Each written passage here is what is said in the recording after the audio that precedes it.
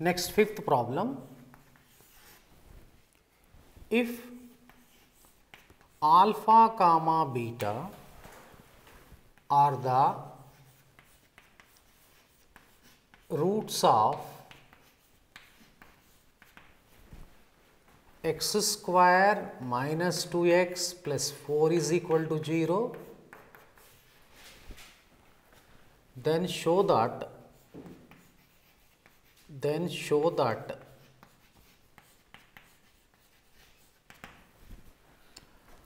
alpha power n plus beta power n equals to 2 to the power of n plus 1 cos n pi by 3. Just observe this problem. This problem is actually we have to do in three steps. First step finding the values of alpha and beta that means solving the quadratic equation. Substitute alpha and beta and again the alpha and beta are to be transformed to the polar form. Then applying the De Moivre's theorem so that the problem we can solve. The first step let us do it. So, consider x square minus 2x plus 4 is equal to 0. Here a is 1, b is minus 2, c is equal to 4 quadratic equation comparing. So, alpha comma beta is equal to we have minus b plus or minus root of b square minus 4ac by 2a. This is a quadratic formula.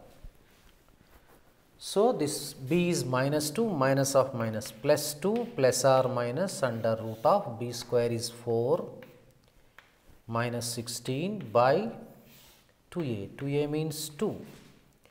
This will be 2 plus or minus root minus 12 by 2.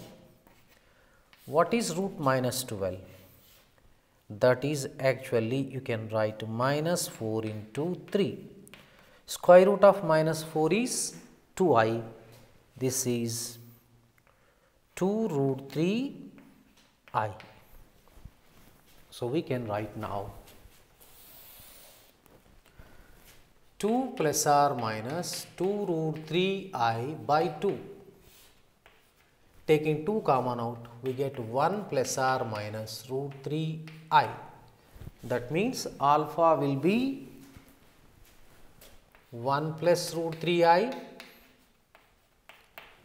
beta becomes 1 minus root 3 i now alpha power n plus beta power n we have to find out that means alpha power n plus beta power n so that means first better write 1 plus 3i in complex form.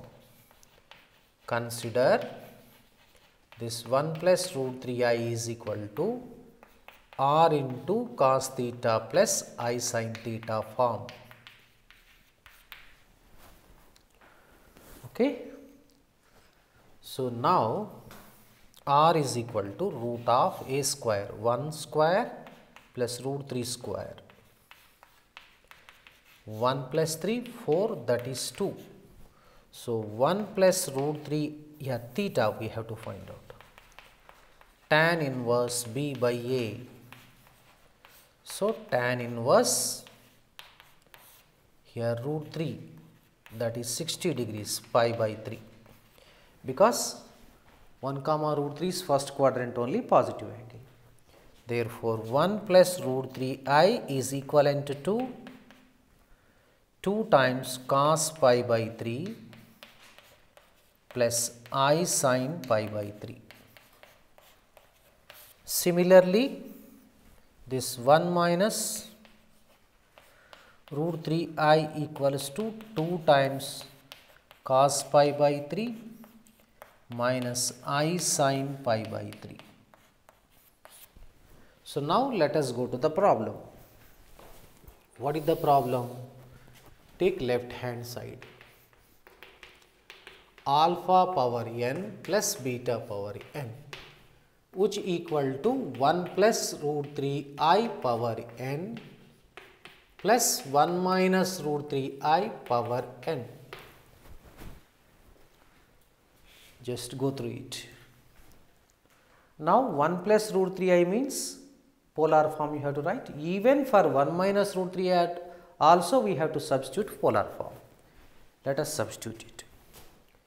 This is 2 times cos pi by 3 plus i sin pi by 3 all to the power of n plus 2 times cos pi by 3 minus i sin pi by 3 all to the power of n.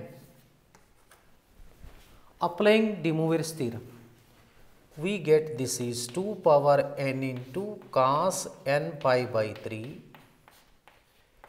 plus i sin n pi by 3 okay plus 2 power n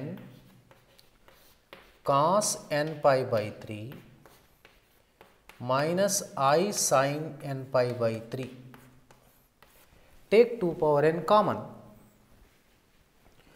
If we take 2 power n common, we get cos n pi by 3 plus i sin n pi by 3 plus cos n pi by 3 minus i sin n pi by 3. Okay. Now, this i n pi by 3, i n pi by 3 gets cancelled. What do we have? 2 power n into 2 cos n pi by 3. 2 power n into 2 is 2 power n plus 1 cos n pi by 3. Hence, it is proved.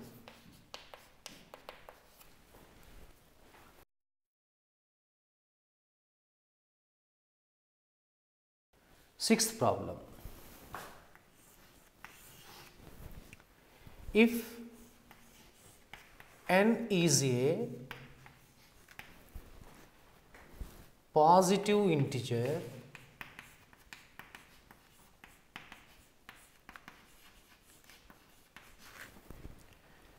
then show that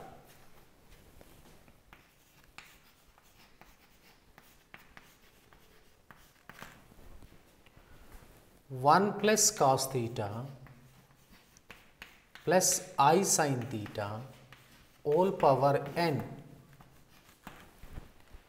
plus 1 plus cos theta minus i sin theta whole power n is equal to 2 power n plus 1 cos to the power of n of theta by 2 into cos of n theta by 2. This is also expected question in the examination. So, now first this 1 plus cos theta plus i sin theta we have to write in polar form. Similarly, the 1 plus cos theta minus i sin theta can be written directly. So, first, so now this consider 1 plus cos theta plus i sin theta. This 1 plus cos theta is 2 cos square theta by 2. In submultiple as angles we have discussed. Sin theta means 2 sin theta by 2 cos theta by 2. i into 2 sin theta by 2 cos theta by 2. Now, we can take out 2 cos theta by 2 common. If we take 2 cos theta by 2 common, we get cos theta by 2 plus i of sin theta by 2. Yes, now it has put in polar form. Similarly, could you expect the polar form of 1 plus cos theta minus i sin theta? Yes, its conjugate. So, that is 2 cos theta by 2 cos theta by 2 minus i sin theta by 2. Now, let us come to the problem. So, left hand side of the problem. Consider left hand side. What is the left hand side here? 1 plus cos theta plus i sin theta whole power n plus 1 plus cos theta minus i sin theta whole power n. Now, substitute this value in the place of this one, substitute this value in the place of this one in the left hand side. So, this is equal to 2 cos theta by 2 of cos of theta by 2 plus i sin theta by 2 whole power n. Okay.